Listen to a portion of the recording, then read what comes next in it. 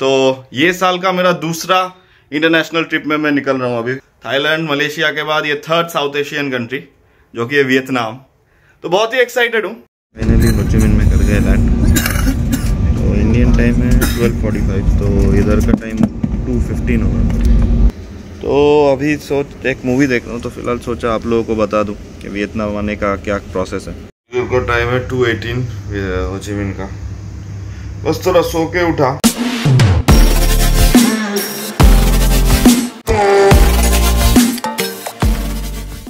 Video शुरू करने से पहले, मैंने एक चीज़ नोटिस किया है कि आप आप लोगों में से जितने लोग मेरे वीडियोस देखते हैं, उसमें से सिर्फ़ 20 प्रतिशत लोग ही मेरे चैनल को सब्सक्राइब्ड है।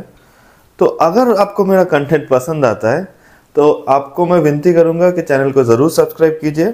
या आपके लिए तो फ्री है, लेकिन मेरे लिए आपका जो प्यार है मेरे कंटेंट के प्रति, वो दिखाता है, जो कि मुझे ऐसे और अच्छे कंटेंट बनाने में और प्रेरित करता है। तो चलिए अभी वीडियो पे लौट चलते हैं। नमस्कार दोस्तों, फिर से एक बार स्वागत है आपका मेरे चैनल पे। अगर आप रेगुलर यूज़र हो, अगर आप नए हो तो स्वागत है आपका मेरे चैनल पे। तो आज है ट्वेंटी फ़र्स्ट ऑफ़ सेप्टेम्बर तो ये साल का मेरा दूसरा इंटरनेशनल ट्रिप में मैं निकल रहा हूँ अभी, आज के आज के टाइम अभी फ़िलहाल। और मेरा कैब का भी कॉल आ गया तो एक मिनट दीजिए। तो ये एक सोलो ट्रिप होने वाला है। क्योंकि मेरा दोस्त जाने वाला था। सुप्रियो भाई, आप लोग अगर थाईलैंड का वीडियो देखे होंगे तो आप लोगों को मालूम होगा। लेकिन वो नहीं जा पा रहा फ़िलहाल तो अकेले ही जा रहा हूँ। और इस बार मेरा ये होगा थाईलैंड, मलेशिया के बाद ये थर्ड साउथ एशियन कंट्री जो कि है वियतनाम तो बहुत ही एक्साइटेड हूँ। फॉरेक्स लिया है मैंने। तो फॉरेक्स का मुझे 9000 का मुझे मैंने चेंज करवाया। और 20 लाख दे के गए। वो तो मस्त है 9000 के लिए 20 लाख दे के गए मुझे।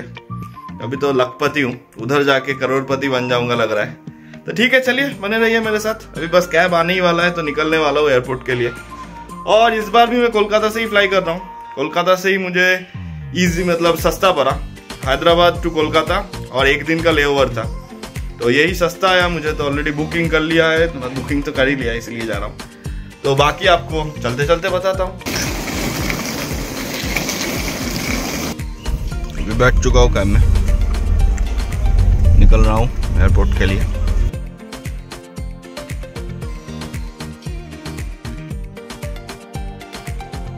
एयरपोर्ट पहुँच चुका हूँ सेवन ट्वेंटी है। और उतना भीड़ भी नहीं है तो इजी हो जाएगा सब कुछ। चलिए देखते हैं।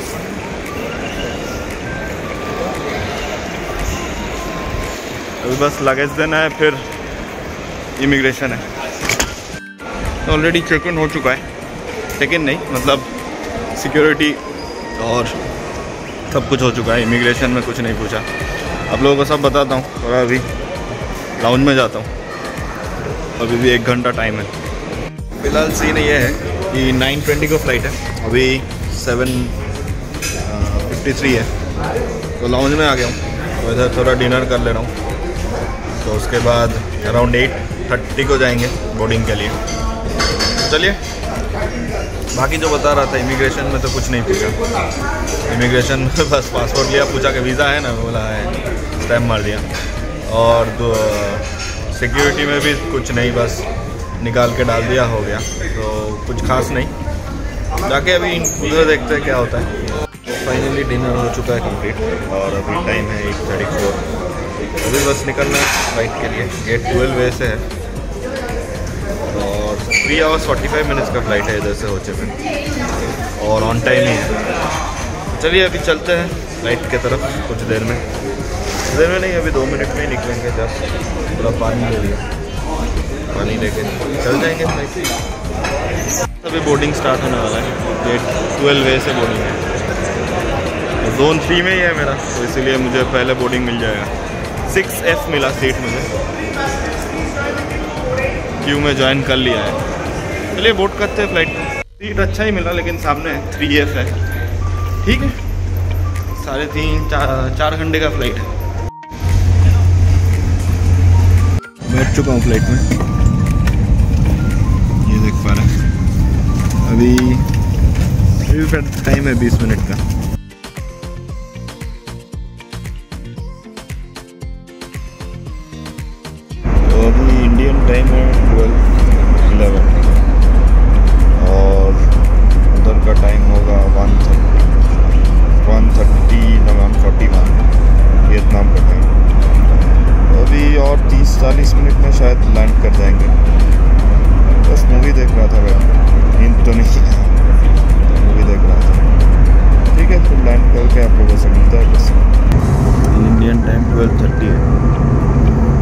शायद 15-20 मिनट में पहुँच जाना चाहिए। नीचे दिख तो रहा है मोस्टली यही वे इतना ही होगा।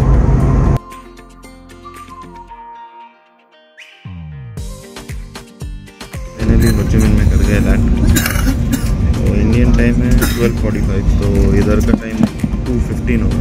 फ़्लाइट से निकल चुका हूँ। अभी इंडियन टाइम तो टू फोर्टी होगा। इंडियन टाइम नहीं इधर का टाइम अभी देखते हैं इमिग्रेशन में कितना टाइम लगता है। चलिए, चलते हैं अभी। Long walk towards the immigration counter और पूरा खाली है काउंटर देख पा रहे हैं पीछे। वो वाला है। पूरा खाली है। फट से निकल जाऊँगा। तो देखना पड़ेगा निकल के कि सिम अगर कहीं मिल जाए। सिम का दुकान तो बंद दिख रहा है वीएटेल का। तो देखना पड़ेगा, वही एक चीज़ है। हाँ इधर मिल रहा है देखता हूँ कितने का है? इमिग्रेशन भी हो गया, कुछ नहीं पूछा। जस्ट पासपोर्ट दिया वीज़ा देखा, दे दिया। होटल बुकिंग था मेरा, वो तो चेक नहीं किया। अभी बस ये लगेज लेने के लिए वेट कर रहा हूँ। फिर देखता हूँ ड्यूटी फ्री से कुछ ले लूँगा। अभी टाइम तो है, बहुत ही टाइम है वेट करने का मेरा। वेट करना पड़ेगा एयरपोर्ट में देखता हूँ, क्या करना है। थोड़ा मूवी वूवी देख लूँगा, बैठ के क्या और करूँगा। इधर ही थोड़ा रेस्ट ले लूँगा, इधर। जो चेयर है उधर पीछे। ठीक है, चलिए। फिर मिलते हैं आप लोगों से कुछ देर में। पहले लगेज आ जाए लगेज ले लेता हूँ। बाकी एक चीज़ है एयरपोर्ट बहुत ही शांत है, क्योंकि ऑलरेडी रात का टाइम है और इस समय शायद ज़्यादा फ़्लाइट आते नहीं हैं तो बहुत ही शांत है। ये देख पा रहे सब दुकान वुकान बंद ही है फ़िलहाल। फ़िलहाल अपडेट ये है। इधर का साढ़े तीन, पौने चार बजे। और एयरपोर्ट में ही बैठा हूँ। पूरा खाली है एयरपोर्ट देखिए। मैं हूँ, मैं और मेरी तन्हाई। पूरा खाली है एयरपोर्ट जो लास्ट फ़्लाइट था शायद मेरा ही था फिर नेक्स्ट फ़्लाइट सुबह को ही है। तो मैं बस वेट कर रहा हूँ। तो अभी सोच एक मूवी देख रहा हूँ तो फ़िलहाल सोचा आप लोगों को बता दूँ कि वियतनाम आने का क्या प्रोसेस है। हम्म, कोई नहीं दिख रहा। तो कुछ लोग तो आ रहे हैं। तो वियतनाम आने का जो प्रोसेस है तो फ़्लाइट टिकट तो चाहिए आपको। और वीज़ा का जो आपको बता रहा था कि बाईस सौ रुपये में आता ई वीज़ा वो वेबसाइट में आप खुद ही जाके अप्लाई कर सकते हो और सिर्फ़ पासपोर्ट का पिक्चर देना है और अपना पिक फ़ोटो देना है जो थोबड़े का। बाकी कुछ नहीं, कोई डॉक्यूमेंट नहीं चाहिए no hotel booking no return ticket no flight ticket कुछ नहीं। कुछ अपलोड नहीं करना है। बस फिर पेमेंट कर दो twenty U S twenty five U S D है। Twenty five U S D payment कर दो, बस हो गया वीज़ा और मतलब इमिग्रेशन भी इतना स्मूथ रहा, अब दोनों ही जगह, कोलकाता भी इतना, मैं क्या बताऊँ। मैंने सोचा था वियतनाम में कुछ तो होटल बुकिंग बुकिंग देख लेंगे। कुछ नहीं वीज़ा देखा। वीज़ा का जो डेट मतलब कब तक वैलिड है, वो लिख के। चले जाओ, हो गया, कुछ नहीं। ना फिंगरप्रिंट लिया, ना कुछ लिया नथिंग तो अभी वही वेट कर रहा हूँ, मैं देखता हूँ। मेरे दोस्त का फ़्लाइट अभी तीन घंटे में नहीं, तीन नहीं, अभी दो घंटे में शायद लैंड कर जाएगा। तो उसके बाद होटल जाना है। इधर से होटल मैंने देखा डिस्ट्रिक्ट वन में मैंने होटल लिया है राइस होटल बोल के, क्योंकि वो बहुत ही सस्ता आ गया था।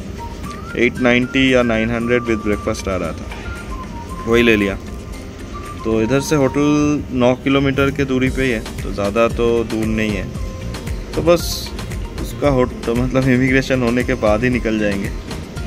और तो कुछ नहीं। तो फ़िलहाल देखता हूँ, एक कोई तो मूवी है नेटफ्लिक्स में भोले शंकर बोल के। मेगा स्टार चिरंजीवी का। तो वही देख रहा हूँ बैठ के टाइम पास के लिए। सोच रहा हूँ थोड़ा उसके बाद थोड़ा रेस्ट भी ले लूँगा।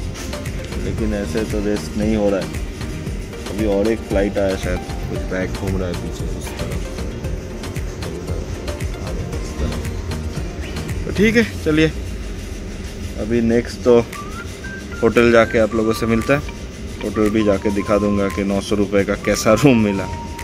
अच्छा ही होना चाहिए, लेकिन देखते हैं। इधर का टाइम है सात बीस तो फाइनली दोस्त आ चुकी है। तो देखते हैं कितना उसका, कितना टाइम लगता है इमिग्रेशन क्लियर करने में। बहुत सारे फ्लाइट्स आए इस टाइम में। तो अभी मैं बस वेट कर रहा हूँ। रात भर तो सोया नहीं भाई, कोशिश किया था सोने का बेंची पे, लेकिन आदत नहीं है तो नींद नहीं आया। वही तो जग के पड़ा रहा मूवी देखा बैठ के। भोला शंकर, ये वो जो मिला, सब देख लिया। अभी होटल में जाके पहले तो ब्रेकफास्ट करके थोड़ा सो लेना है। तो ये ही फ़िलहाल प्लान है। होचिमिन का रूम सीन कुछ ऐसा है। बहुत ही छोटा रूम है। एकदम छोटू सा। लेकिन प्राइस भी कम ही लिया। प्राइस इसका है आठ सौ रुपये विद ब्रेकफास्ट तो ओवरऑल ठीक ही है। एक चीज़ है कि बहुत ही क्लीन है रूम टाइम है two eighteen Ho Chi Minh का। बस थोड़ा सो के उठा। और थोड़ा सो लूँगा सोच रहा हूँ। और फिर तीन बजे तक निकलेंगे थोड़ा सिटी टूर करने। तो फ़िलहाल यही प्लान है। रात भर तो सोया नहीं। अभी नींद तो बहुत आ रही भाई। और थोड़ा सो लेता हूँ। तो बस अभी थोड़ा निकला हूँ। ये सेवन इलेवन से थोड़ा पानी लेके आता हूँ और कुछ खाना मिल जाए तो खा लूँगा। बुईवियन स्ट्रीट से एकदम वॉकिंग है। ये सामने ही दिख रहा है आप लोगों को दिखाता हूँ। ये बुईवियन स्ट्रीट है। रात को ये मतलब स्ट्रीट अलग लेवल में ये हाइप रहता। पब्स एंड ऑल के वजह से। ऑलरेडी एक राउंड शायद बारिश हो गया जो लग रहा है। क्योंकि रास्ता रोड तो भीगा भीगा लग रहा है। एक राउंड बारिश हो गया होगा। चलिए, इधर का सेवन इलेवन दिखाता हूँ आप लोगों को।